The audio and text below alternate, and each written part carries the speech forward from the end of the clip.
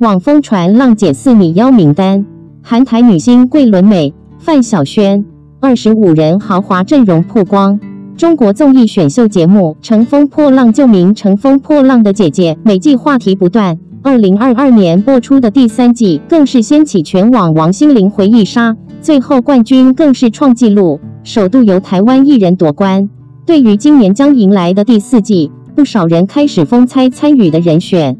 对此，微博一日便流出一份《浪姐四》最终版的女妖名单，阵容相当豪华，两名台湾女艺人也在其中。《乘风破浪》第四季的参与人选备受外界关注，网传《浪姐四》最终女妖名单今日更是登上微博热搜。二十五人名单包括桂纶镁、李若彤、范晓萱、陈子涵、陈丽、王晓晨、童瑶、吴倩、蒋梦婕、胡冰卿、刘雅瑟。高叶、杨采钰、李玟、戴佩妮、卢靖姗、杨蓉、陈明、张小斐、樱桃、萨顶顶、谭松韵、孙悦、刘桃、李小璐。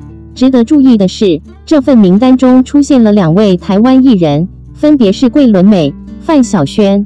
而过去三季中所参与的台湾艺人，则包括第一季的伊能静、第二季的杨丞琳和陈妍希、第三季的王心凌。郭采洁以及许茹芸，其中杨丞琳在第二季中取得第三名的佳绩，王心凌则是在第三季夺冠，身价直线飙升。台湾艺人第四季的表现令人期待。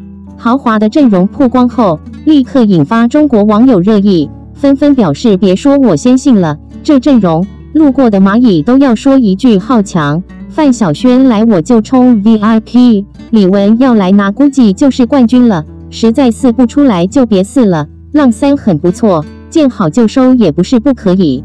每年三十位，到如今没剩多少可以请了，感觉不必强求。其中也有不少人质疑这份名单的真实性。刘桃这咖位的不会去吧？不信，除非让我在第四季见到杨蓉、樱桃和陈丽，坐等官方发布。目前不知道真假。如果是真的，那这个阵容真的太豪华了吧？已经在期待官宣罗。感谢您收看猫 TV 新闻频道，记得点赞、分享和关注，每天更新最新消息。在评论部分让我知道你的想法。